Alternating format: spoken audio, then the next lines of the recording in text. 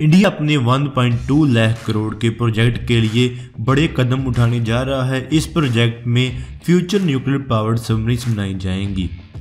इस प्रोजेक्ट के लिए बहुत जल्द ही एक डिटेल्ड डिज़ाइन फ़ेज़ शुरू किया जाएगा। इस प्लान के मुताबिक सिक्स एडवांस्ड अटैक सबमरीन बनाई जाएँगी, जो कि न्यूक्लियर पावर्ड होंगी, लेकिन इन्हें कन्वेंशनल मिसाइल्स और टॉर्पीडो से आम किया जाएगा। इस प्रोजेक्ट को बहुत नज़दीक से देखा जा रहा है। और अगर उम्मीद के मुताबिक काम चलता रहा तो पहली सबमरीन्स इसी दशक में रोल आउट कर दी जाएँगी। सोर्सेस का कहना है कि इस प्रोजेक्ट के लिए initial design phase successfully complete हो गया है और अब और ज़्यादा रिसोर्स डिप्लॉय की जा रही हैं जाकि इस प्रोजेक्ट के लिए ज़्यादा कम्प्लेक्स डिटेल डिज़ाइन और कंस्ट्रक्शन का काम किया जा सके।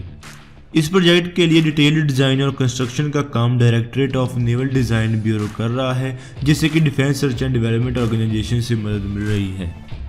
इस प्रोजेक्ट के लिए मिली क्रिटिकल क्लियरेंस उस वक्त पर आई है जब बिल्डिंग सेंटर विशाखापट्टनम पर, जहाँ पर Arihant class nuclear armed submarine बन रही हैं।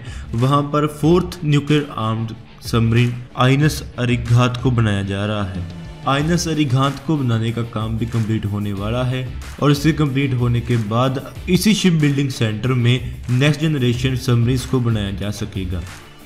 सोर्सेस की माने तो अरिहंत क्लास की दूसरी सबमरीन आइनस अरिघात आइनस अरिहंत से ज़्यादा बड़ी है और ज़्यादा अच्छी तरह आर्म्ड है। इस सबमरीन को अगले साल कमीशन कर लिया जाएगा ये इंडिया के न्यूक्लियर डेटरेंस को और ज़्यादा मज़बूत करेगी। इसके बाद इसी प्रोजेक्ट में दो और ज़्यादा सबमरीन इंडक्ट की जाएँगी, जो कि 2024 से पहले इंडक्ट कर ली जाएँगी। इन सबमरीन्स के बन जाने के बाद शिप बिल्डिंग सेंटर में ज़्यादा स्पेस और रिसोर्स फ्री हो जाएँगी, जिसके साथ हम next generation nuclear attack submarines को बनाना शुरू कर पाएँगे।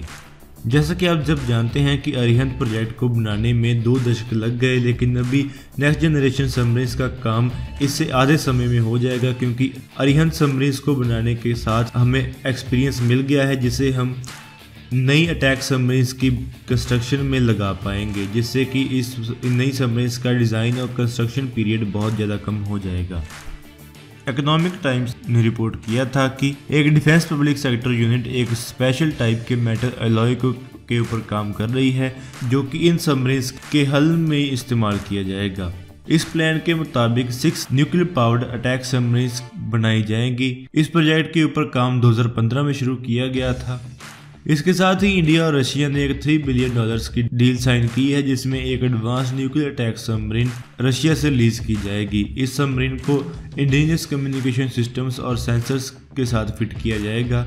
ये सबमरीन इंडियन नेवी के ऑपरेशनल कैपेबिलिटी के गैप को फिल करेगी और इस सबमरीन का इस्तेमाल इंडिजियस सबमरीन के बनने से पहले क्रू की ट्रेनिंग के लिए किया जाएगा।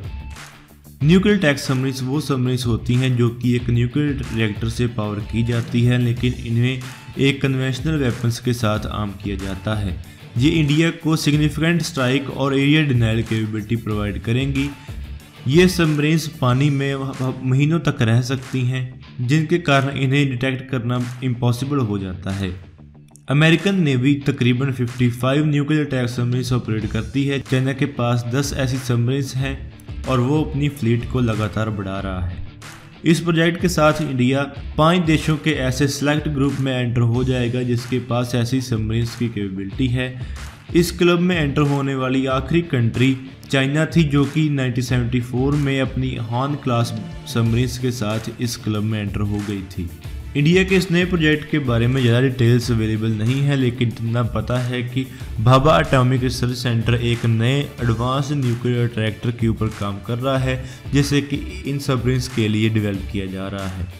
अभी इंडियन नेवी में आइनस अरिहंत और आइनस चक्रा, जो जिसे कि रशिया से लीज पर लिया गया है, दो ऐसी न्यूक्लियर पावर्ड सबमरीन्स हैं जो कि जो कि इंडियन नेवी की सर्विस में है। तो दोस्तों, आज की इस वीडियो में इतना ही। Please like share and subscribe अगर आपको ये वीडियो अच्छी लगे तो आप इसको ज़रूर लाइक और शेयर करें। Thanks for watching this video जय हिंद, वंदे मातरम।